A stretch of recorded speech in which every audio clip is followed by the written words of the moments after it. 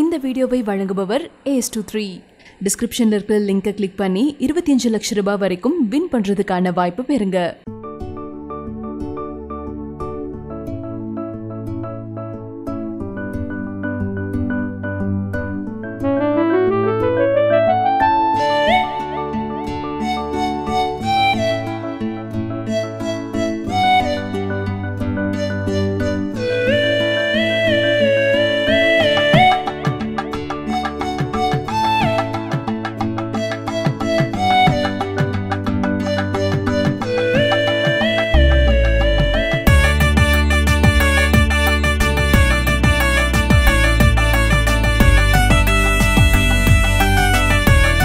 Actor ஷீலாவுக்கும் EVP film city chairman Santhosh ரெட்டிக்கும் ரீசெண்டாக wedding நடந்திருக்கு.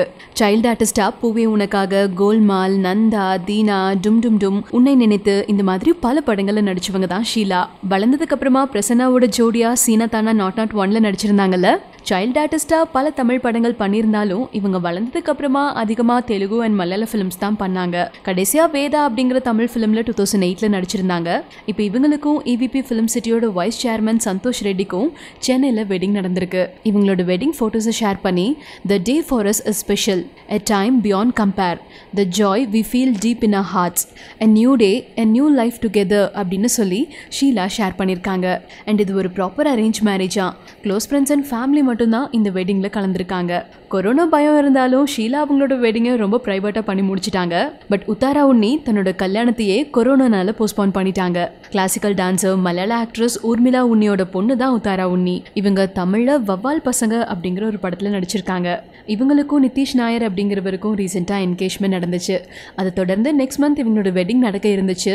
But கொரோனானால தன்னோட வெட்டிங்கை போஸ்ட்போன் பண்ணியிருக்கிறதா இப்போ உத்தாரா உன்னியா அப்டேட் பண்ணியிருக்காங்க தாலி கெட்ட சர்மனி ஃபிக்ஸ் பண்ண டேட்டில் நடக்க தான் போகுது. பட் வெட்டிங் செலிப்ரேஷன்ஸை நாங்கள் போஸ்ட்போன் பண்ணியிருக்கோம் எல்லாரும் பத்திரமா இருங்க.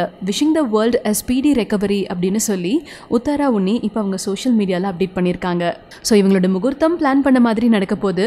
பட் எல்லாத்தையும் இன்வைட் பண்ணி பண்ண இருந்த ரிசப்ஷன் அண்ட் மற்ற ரிச்சுவல்ஸை தான் இப்போ போஸ்ட்போன் பண்ணியிருக்காங்க இவங்க கல்யாணம்லாம் இருக்கட்டும். நம்ம அனுஷ்கா ஷெட்டியோட கல்யாண ரூமர்ஸ் எப்போ தான் முடியும்னே தெரிலல்ல பிரபாஸ்க்கும் இவங்களுக்கும் லவ் இப்போ கல்யாணம் அப்போ கல்யாணம்னு சொல்லி கிட்டத்தட்ட பல வருஷமாக ரூமர்ஸ் வந்துட்டே தான் இருந்துச்சு. அப்புறம் திடீர்னு ஒரு டேரக்டர் மேலே லவ்னு சொன்னாங்க. அப்புறம் ஒரு பிஸ்னஸ் மேனை கல்யாணம் பண்ணிக்க போகிறதா சொன்னாங்க. போதும் போதும் போதும். எவ்வளோ நாளைக்கு தான் என் கல்யாணத்தை பற்றி பேசிக்கிட்டே இருப்பீங்க? இல்லை அது என்னோட பர்சனல் விஷயம். அதுலேயே மற்றவங்க இவ்வளோ ஈடுபாடு காட்டுறாங்க? அப்படின்னு சொல்லி அனுஷ்காவே கொஞ்சம் அப்செட் ஆயிட்டாங்க. ஒரு வாட்டி இல்லைன்னு சொல்லலாம் ரெண்டு வாட்டி இல்லைன்னு சொல்லலாம். எப்போ பார்த்தாலும் ரூமர்ஸ் வந்துட்டே இருந்தா அதுக்கு ரெஸ்பாண்ட் பண்ணிக்கிட்டே இருக்க முடியுமா? என்னோட கல்யாணத்தை பற்றி வர விஷயங்கள் எல்லாமே வதந்திகள். யாரும் அப்படி ஒரு ரிலேஷன்ஷிப் எல்லாம் மறைச்சு வச்சிட முடியாது. என்னோட கல்யாணத்தை நான் எப்படி மறைக்க முடியும்? இது ரொம்ப சென்சிட்டிவான ஒரு விஷயம். பீப்புள் அதை கொஞ்சம் சென்சிட்டிவாக ஹேண்டில் பண்ணும். எனக்குன்னு ஒரு பர்சனல் ஸ்பேஸ் இருக்கு. அதில் யாராவது நுழைய நினைச்சாங்கன்னா எனக்கு அது பிடிக்காது.